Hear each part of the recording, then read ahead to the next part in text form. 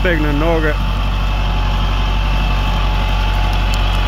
Sam se ukoči već u traktoru cijelo jutro.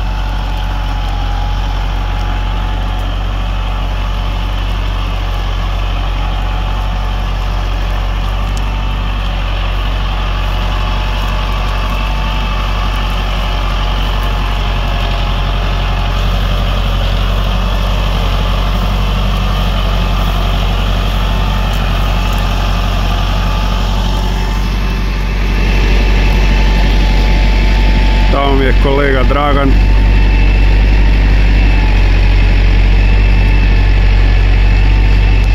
Se bori on.